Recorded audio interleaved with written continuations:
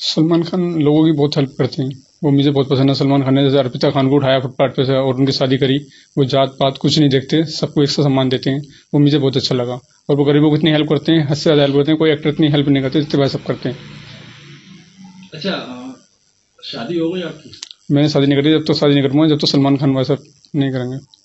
आपने कोई चिट्ठी वगैरह भी भेजी है कुछ ना मैंने अभी अच्छा ये कहाँ से ये आइडिया आया? बस बचपन से ही मोहब्बत हो गई फ़िल्म देख देख के मुझे। फ़िल्म देख देख कर कितनी फ़िल्में देखी फ़िल्में करीब चौहत्तर फ़िल्म देखी उनकी।